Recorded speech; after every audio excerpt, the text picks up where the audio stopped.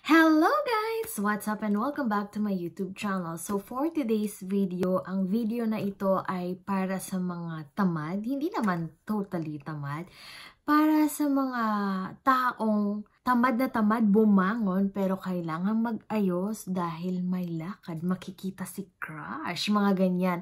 Ang gagawin kong makeup look is uh, summer, summer na summer. So ang gagamitin natin is yellow and orangey eyeshadow. So, kung interesado kayo, please keep on watching and please don't forget to subscribe to my channel and hit the notifications bell kung gusto mo lang naman na updated ka sa lahat ng videos na i-upload ko. Okay? So, ang itsura ko ngayon mukhang bagong gising pero hindi po ako bagong gising. Of course, na-moisturize ko ng aking face mag-primer tayo. The primer that I'm going to use this time is from Hourglass, the Veil Mineral Primer. So, paubos na siya, guys. So, bet na bet ko lang siya kasi mat na mat siya.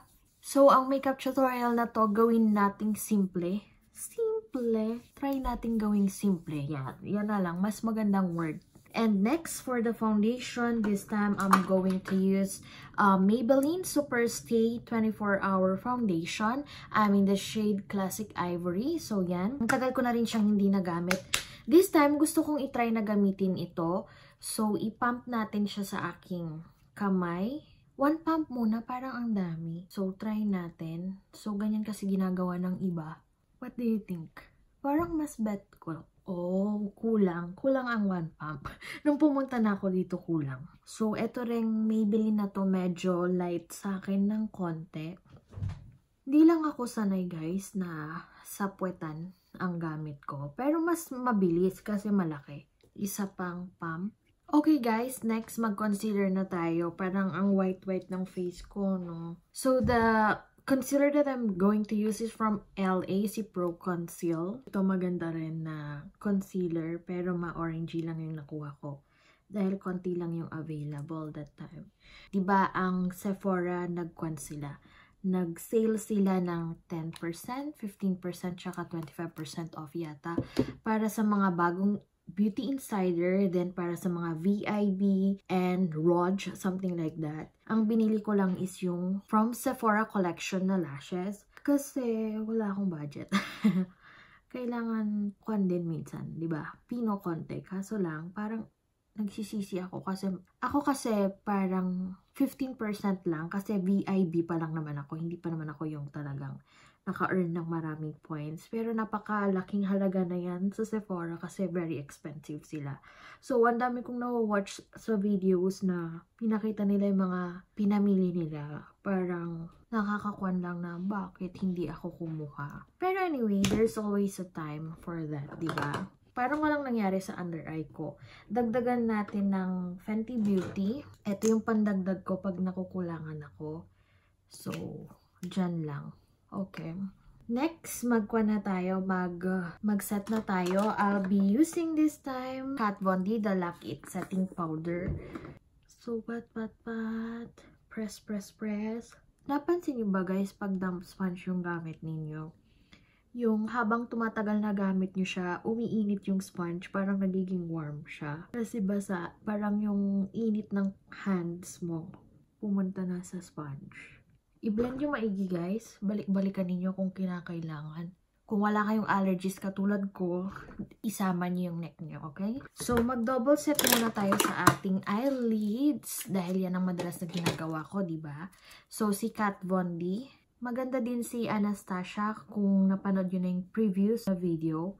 Nung tinry ko si Anastasia, maganda naman siya sa aking ano, under eye. So, whatever is okay sa under eye ko, yun din ang nilalagay ko sa lids ko pang set.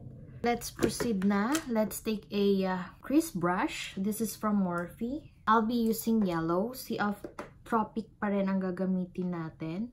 So, sa crease tayong ganyan. Very simple and subtle. Alam nyo, iba talaga ang nagagawa ng bagong brush. Tingnan nyo guys, yung pop na pop yung kulay. Alam nyo kasi ako guys, hindi ako yung isang gamitan, hugas kagad.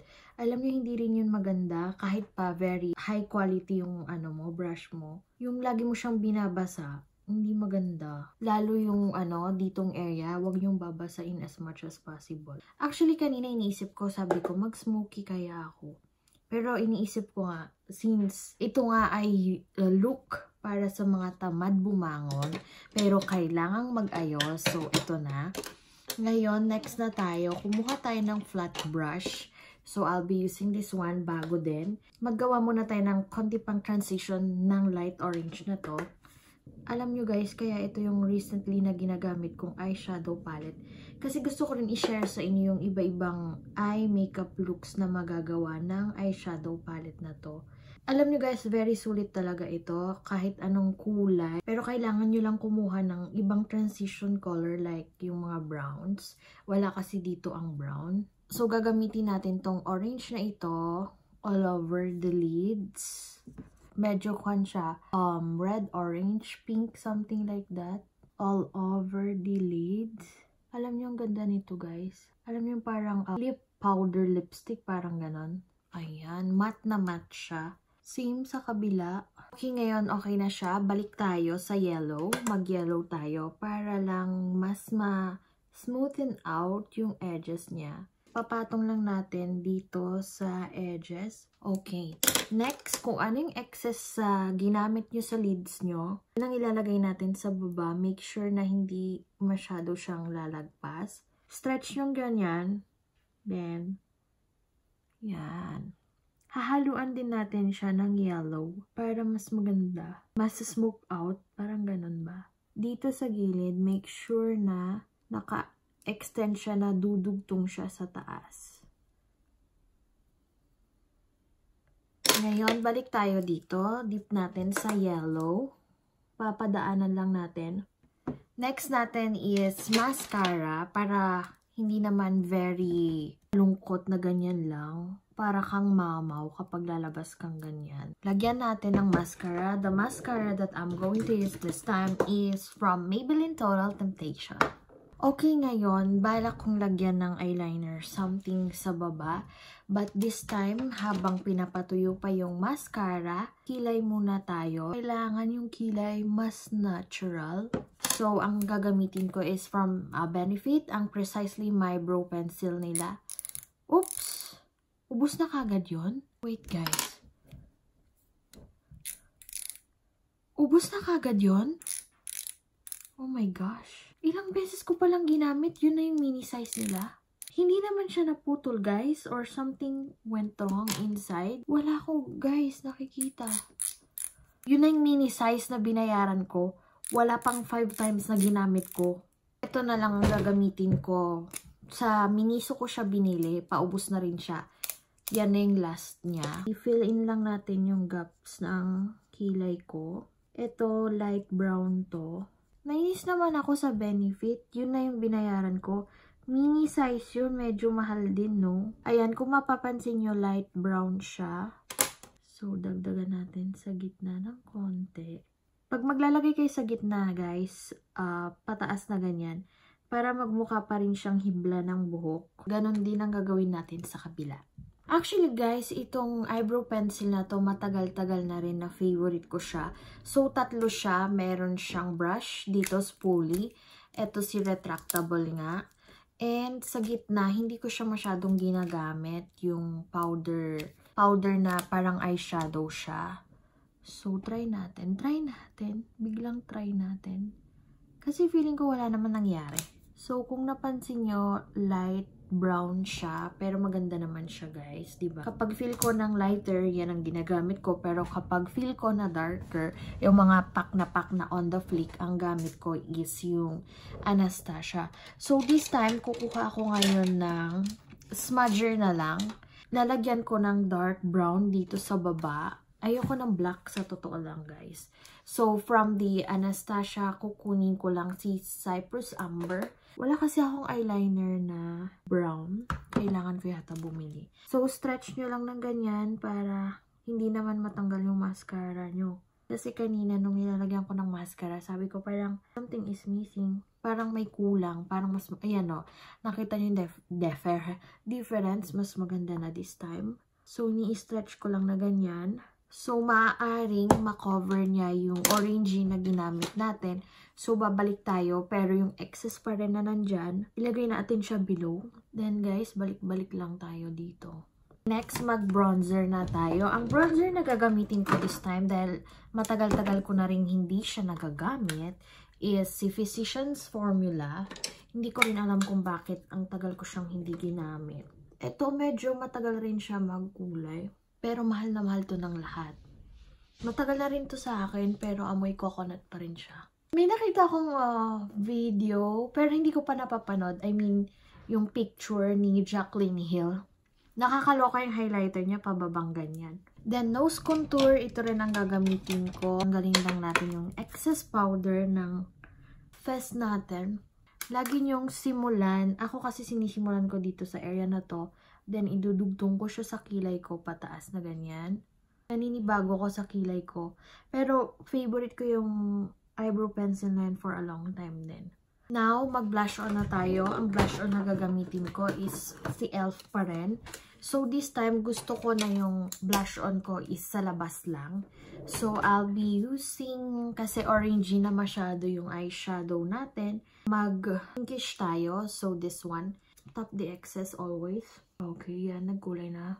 Malakas rin siya makakuha eh. Makaganda ng posture kapag nakagilid kang ganyan. Pag palabas yung blush mo.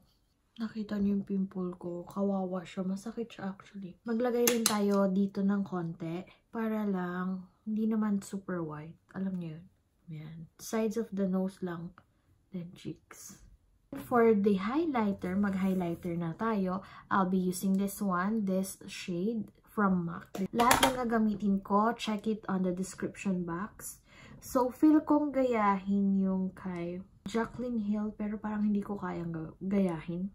Kasi mataba mukha ko. Kasi talagang yung highlight niya pababa eh. Kung nasaan yung blush on. Let's do it, girl. Mm. So, sa inner corners, gamit tayo nitong brush na ito. Ibang dumi-dumi na. So, etong same color lalagay natin sa inner corners na ganyan. Then, extend natin ng konti. Konti lang kung ano yung excess pa ganyan. Yan. Mm. Umaaura ang lola nyo. For the lipstick, gagamit tayo ng medyo orangey, something na pang summer. Okay guys, so ang gagamitin ko is from MAC. It's a matte lipstick in the shade Ablaze. So, ganyan siya. So, I hope maging bagay siya or maganda siya.